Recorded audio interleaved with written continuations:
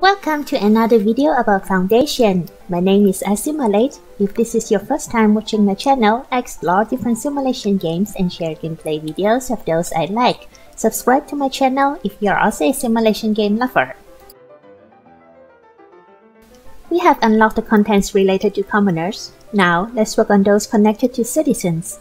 Before promoting any commoners to citizens, I like to ensure we have enough splendors for the various estates first. Clergy asks for 50 splendor points, Kingdom 40, and Labor 50. Comparatively, it's easier to raise splendor for the Kingdom and Labor. We just need to hang more flags onto our military keep and manor. For clergy, it takes a while, as we need to add extensions or bell towers to our churches. To make beer, we need to build a brewery which does its magic with wheat, hop, and water, which farm we already have. Let me build a hop farm here and a brewery not far away here. This game has a very interesting concept. Beer is considered a luxury and only citizens drink beer.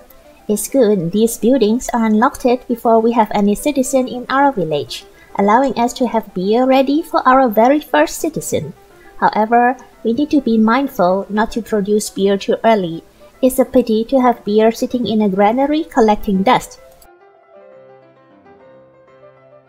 Tavern is where we sell our beer. That's why I put it right next to the brewery. It was unlocked after we had enough commoners. Again, we can have it built before having citizens. To make sure people will visit the tavern, I surround the houses with a wall and integrate the exits or entrance with a tavern equipped with two doors. In this way, people are always reminded to grab a beer before going home or going to work. Excellent! On the other hand, we need to have things ready within the tavern to make it work.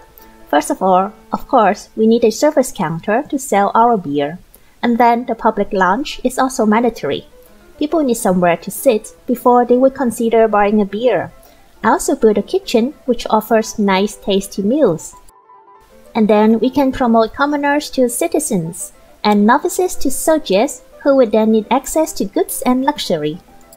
Checking our finance at the end of the month, our tavern is doing really well, bringing in 8,200 coins. Beer is selling. What is also selling is the jewelry our soldiers got us through military missions.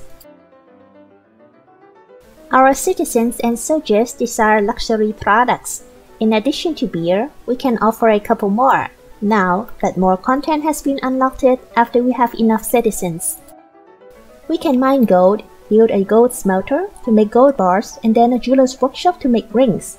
However, we cannot really plan a smooth production because gems can only be randomly found in the various quarries. Once we have 10 citizens, we can unlock monastery and the clergy estate.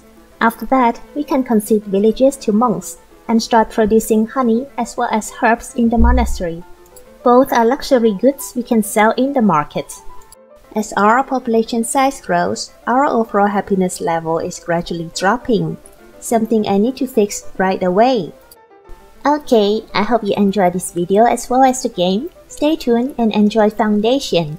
See you next time. Take care.